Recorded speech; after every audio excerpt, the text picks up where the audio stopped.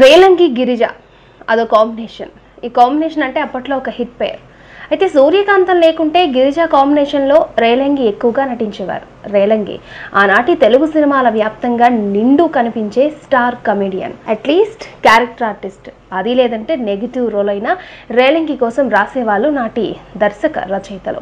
Kakinada young men's happy క్లబ్లో రేలంగిది చురుకైన పాత్ర. ఈ సంస్థ ఎంత సంపన్నమైందంటే ఒక సినిమా థియేటర్ సైతం దీని పేరే ఉండేది. అప్పట్లో సీపుల్లియా ఎస్విఆర్ హర్నాథ్ అంజలి ఆదినారాయణరావు వంటి సినీ నాటక దిగ్గజ కళాకారులుండే అరుదైన సంస్థ.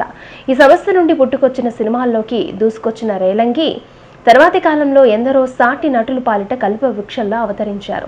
పద్మనాభన్ను తన సైకిల్పై ఎక్కించుకుని ఆఫీసుల చుట్టూ తిరిగి వేషాలిప్పించిన ఘనుడు రేలంగి. తనకు ఒక కారుంటే ఆ కారు ద్వారా ఎందరినో రవాణా చేసి వాళ్ళ మన్ననను పొందిన మంచి మనిషి.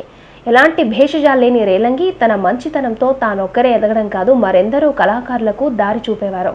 అంతేనా? కొందరు బాలులకు విద్యాదానం చేశారు. అప్పట్లో కళాకారులంటే ఇప్పటిలా వచ్చిన ప్రతి రూపాయి గీచి గీచి ఖర్చు పెట్టేవాళ్ళు కాదు.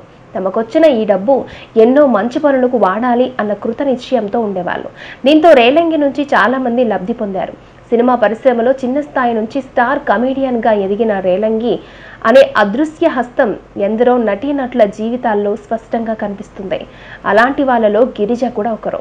రేలంగికి గిరిజ అంటే ఎంతో ఇష్టం. పాతాళ భైరవి నాటి నుంచి వీళ్ళది మంచి జంట. గిరిజ అంటే రేలంగికి ఎంత ఇష్టం అంటే తన క్యారెక్టర్ ఫిక్స్ అయ్యాక మరి గిరిజను సంప్రదించారా? అని ఆ వెంటనే దర్శక నిర్మాతలను అడిగేవారట రేలంగి. అలాంటి రేలంగి గిరిజ మీద పంచప్రాణాలు పెట్టేసుకుని ఆమెకు ఇల్లు కూడా కొనిచ్చారు. అది పోయస్ గార్డెన్లో ఉండేది. పోయస్ గార్డెన్ అంటే ఎంతో పాష్ ఏరియా. ఈ ఏరియాలో రజనీ జయలలిత వంటి ప్రముఖులు ఉండేవాళ్ళు. గిరిజా సన్యాసరాజు అనే అసిస్టెంట్ డైరెక్టర్తో ప్రేమలో పడింది. ఓ సాధారణ అసిస్టెంట్ డైరెక్టర్లో ఏం చూసి ప్రేమిస్తున్నావు?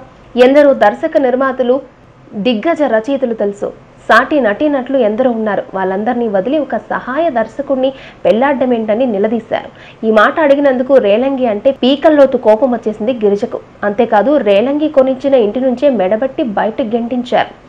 ఈ పాపం ఆమెను ఊరికే వదలలేదు. తర్వాతి కాలంలో రేలంగి కొనిచ్చిన ఇంటిని అమ్మేయాల్సి వచ్చింది తాను ప్రేమించిన సన్యాసరాజును దర్శకుడిగా చేయడానికి సొంతంగా విజయగిరి ధ్వజ అనే నిర్మాణ సంస్థను పెట్టారు.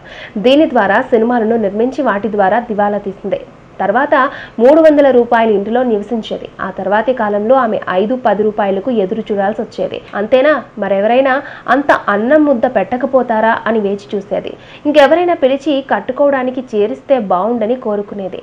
ఇలా గిరిజ పడరాని పాటలు పడింది. ఇదంతా రేలంగి మాట వినకపోవడం వల్ల ఎదురైన ప్రతిఫలంగా చెబుతారు.